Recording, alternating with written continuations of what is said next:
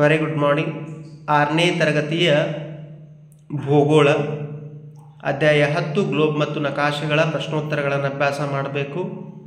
ಈ audio ನೋಟ್ಸ್ಗಳನ್ನು prepare ಮಾಡುವಂಥ ಉದ್ದೇಶ ನಾನು ಮೊದಲೇ ಹೇಳಿದ್ದೀನಿ ಏನಪ್ಪ ಅಂದರೆ, ನಿಮಗೆ ನಿಮ್ಮ ಫೇರ್ ಬುಕ್ ಬರೀಲಿಕ್ಕೆ ಯೂನಿಟ್ ಟೆಸ್ಟನ್ನು ತೊಗೊಳ್ತಾರ, ಅವಾಗ ಕ್ವಿಕ್ಕಾಗಿ ಓದ್ಕೊಳ್ಳಿಕ್ಕೆ ಪದೇ ಪದೇ ಕೇಳೋದ್ರ ಮೂಲಕ ನೆನಪಿನಲ್ಲಿ ಹೆಚ್ಚು ಉಳಿತದೆ.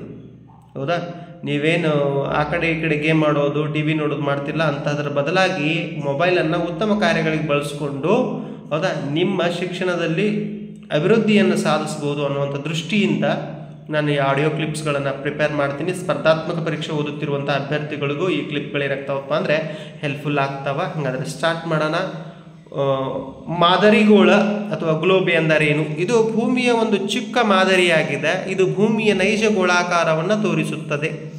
ಉಪಪ್ರಶ್ನೆ ಎರಡು, ಗ್ಲೋಬ್ನ ಎರಡು ಉಪಯೋಗಗಳನ್ನು ತಿಳಿಸಿ. ಗ್ಲೋಬ್ನ ಉಪಯೋಗಗಳು. ಗ್ಲೋಬ್ನಿಂದ ಭೂಮಿಯ ಆಕಾರವನ್ನು ತಿಳಿಯಲು ಸಹಾಯಕವಾಗುತ್ತದೆ. ಗ್ಲೋಬ್ನಿಂದ ಭೂಮಿಯ ಮೇಲಿನ ಭೂಖಂಡ, ಸಮುದ್ರ ಮತ್ತು ಸಾಗರಗಳ ಸ್ಥಾನ, ಗಾತ್ರ ಮತ್ತು ಆಕಾರ ತಿಳಿಯಲು ನೆರವಾಗುತ್ತದೆ. ನಕಾಶೆ ಎಂದರೇನು? ಭೂಮಿಯ ಪೂರ್ಣ ಅಥವಾ ಭಾಗಶಃ ಭಾಗವನ್ನು ಸಮತಲದ ಮೇಲೆ ಮಾಪ ಮಾಪಕಕ್ಕೆ ಅನುಗುಣವಾಗಿ ರೂಪಿಸುವ ಆಕೃತಿಯೇ ನಕಾಶೆಯಾಗಿದೆ.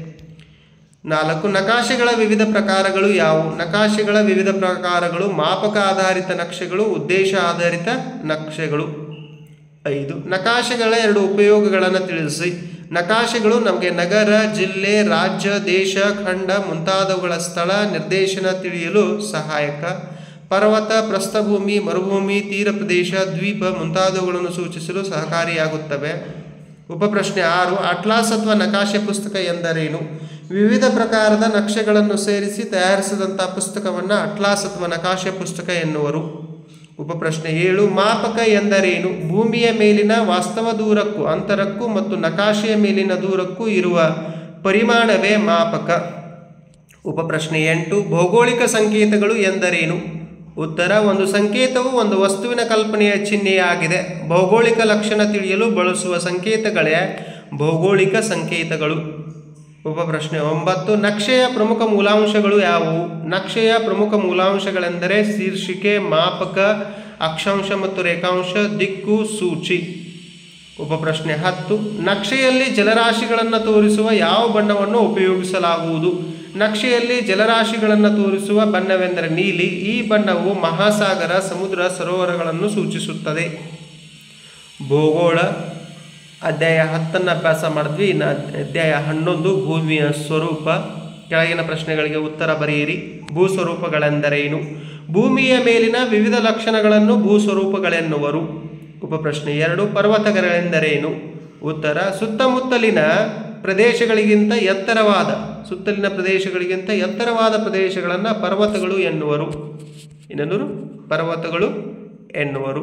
ನೆಕ್ಸ್ಟ್ ಪರ್ವತ ಶ್ರೇಣಿ ಎಂದರೇನು? ಹಲವು ಪರ್ವತಗಳ ಸಾಲನ್ನು ಪರ್ವತ ಶ್ರೇಣಿ ಎನ್ನುವರು. ಪ್ರಸ್ಥಭೂಮಿ ಎಂದರೇನು? ಸಮತಟ್ಟಾದ ಮೇಲ್ಭಾಗ ಮತ್ತು ಕಡಿದಾದ ಬದಿಗಳಿಂದ ಕೂಡಿದ ಪ್ರದೇಶವೇ ಪ್ರಸ್ಥಭೂಮಿ. ಉಪಪ್ರಶ್ನೆ ಐದು, ಪ್ರಪಂಚದ ಅತಿ ಎತ್ತರವಾದ ಪ್ರಸ್ಥಭೂಮಿ ಯಾವುದು? ಪ್ರಪಂಚದ ಅತಿ ಎತ್ತರವಾದ ಪ್ರಸ್ಥಭೂಮಿ ಟಿಬೇಟಿನ ಪ್ರಸ್ಥಭೂಮಿ. ಉಪಪ್ರಶ್ನೆ ಆರು, ಮೈದಾನಗಳೆಂದರೇನು? ವಿಶಾಲವಾದ ಸಮತಟ್ಟಾದ ಭೂಭಾಗವೇ ಮೈದಾನ. ಉಪಪ್ರಶ್ನೆ ಮೂರು ಏಳು ಮರುಭೂಮಿ ಎಂದರೇನು? ಬಹಳ ವಿಸ್ತಾರವಾದ ಶುಷ್ಕ ಪ್ರದೇಶವೇ. ಮರಳಿನಿಂದ ಕೂಡಿದಂಥ ಶುಷ್ಕ ಪ್ರದೇಶವೇ ಮರುಭೂಮಿ. ಉಪಪ್ರಶ್ನೆ ಎಂಟು, ಭಾರತಕ್ಕೆ ಸೇರಿದ ಯಾವುದಾರು ದ್ವೀಪದ ಹೆಸರು ತಿಳಿಸಿ. ಭಾರತಕ್ಕೆ ಸೇರಿದ ದ್ವೀಪ ಅಂಡಮಾನ್ ಮತ್ತು ನಿಕೋಬಾರ್. ಸ್ವಾಭಾವಿಕ ಪ್ರದೇಶಗಳೆಂದರೇನು? ಸ್ವಾಭಾವಿಕ ಪ್ರದೇಶಗಳೇನು ಒಂದೇ ರೀತಿಯ ಪ್ರಾಕೃತಿಕ ಲಕ್ಷಣಗಳನ್ನು ಹೊಂದಿರುವ ಭೂಪ್ರದೇಶವೇ ಸ್ವಾಭಾವಿಕ ಪ್ರದೇಶ. ಹಾಗಾದರೆ ಇಲ್ಲಿವರೆಗೂ, ಹಾಂ ಭೂಗೋಳದ ಅಧ್ಯಾಯ ಹತ್ತು ಮತ್ತು ಹನ್ನೊಂದನ್ನು ಅಭ್ಯಾಸ ಮಾಡಿದ್ವಿ. Thank you thank you so much ಭಾಗ ಎರಡನ್ನು ನೆಕ್ಸ್ಟ್ ಕ್ಲಾಪ್ ಕ್ಲಿಪ್ಪಲ್ಲಿ ಇಲ್ಲಿವರೆಗೂ ಡಿಸ್ಕಸ್ ಮಾಡಿದ್ದೆಲ್ಲ ಭಾಗ ಒಂದು. ಇನ್ನು ಭಾಗ ಎರಡನ್ನು, ಆರನೇ ತರಗತಿಯ ಭಾಗ ಎರಡನ್ನು ನೆಕ್ಸ್ಟ್ ಕ್ಲಿಪ್ಪಲ್ಲಿ ನಿಮ್ಮ ಜೊತೆ ಡಿಸ್ಕಸ್ ಮಾಡ್ತೀನಿ ಅಂತ ಹೇಳ್ತಾ. Thank you thank you so much